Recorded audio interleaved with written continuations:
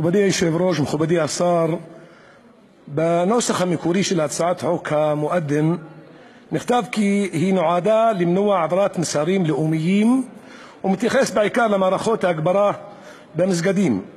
פתאום המטרה היא למנוע רעש מוזר, שקר וכזב.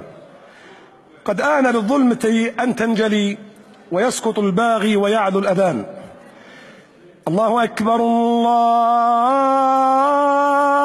أكبر. الله أكبر الله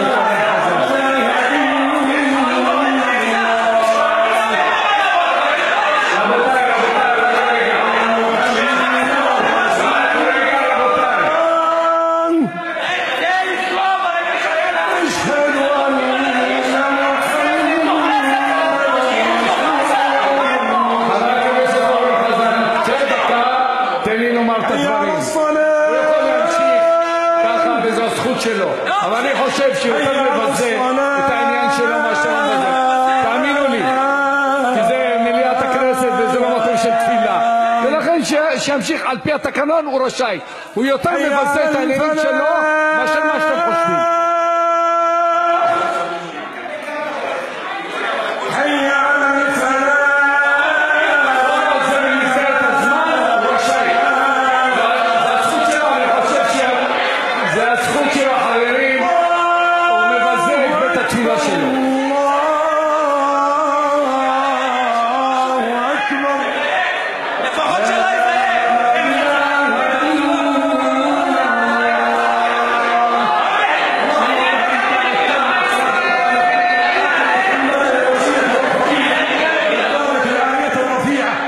مقاما محمودا الذي وعدته.